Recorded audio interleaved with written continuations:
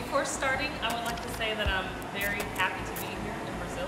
This is my fourth time in Belém, and I've been uh, very excited to partake in the exercise that we're doing currently. So Southern Vanguard is an annual exercise. It takes place in different countries each year.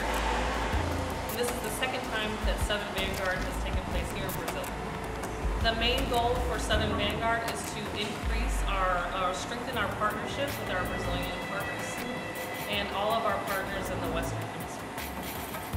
So for this year, we have participants from different Army units in the United States.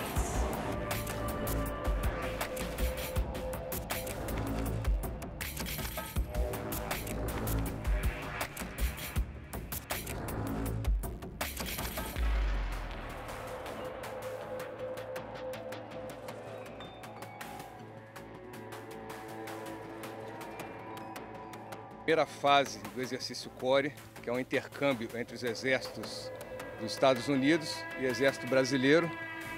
E essa primeira fase ela teve por objetivo aprender as técnicas de combate na selva, técnica de sobrevivência na selva, e a gente considera que o resultado foi muito bom.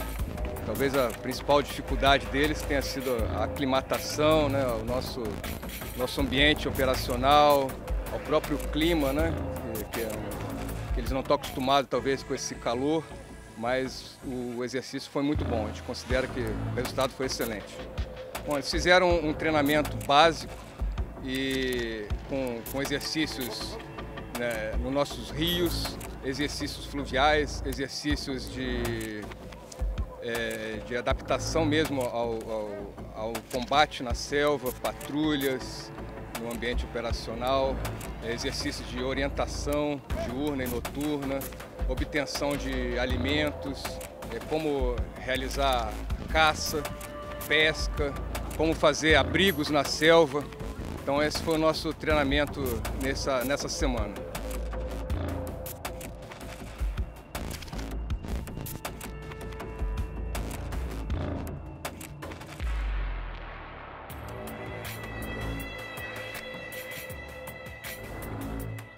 E a gente está recebendo o exercício Core 23.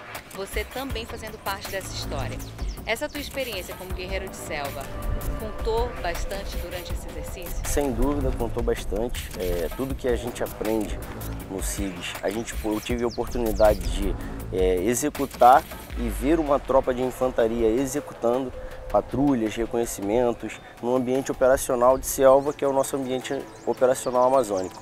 Que, que tu podes citar aí das dificuldades da tropa norte-americana com o nosso ambiente que é muito diferente do deles? Sim, exatamente. Acho que a grande dificuldade que a tropa americana encontrou foi, exata, foi a nossa selva amazônica, né? Nós temos uma mata muito densa, muito fechada, é, é um ambiente úmido e ao mesmo tempo muito quente. Então, assim, a nossa infiltração, ela na maioria das vezes é a pé e carregando o peso do nosso conforto, o peso daquilo que nós vamos precisar utilizar. Então, eu acho que essa foi a grande dificuldade do militar norte-americano.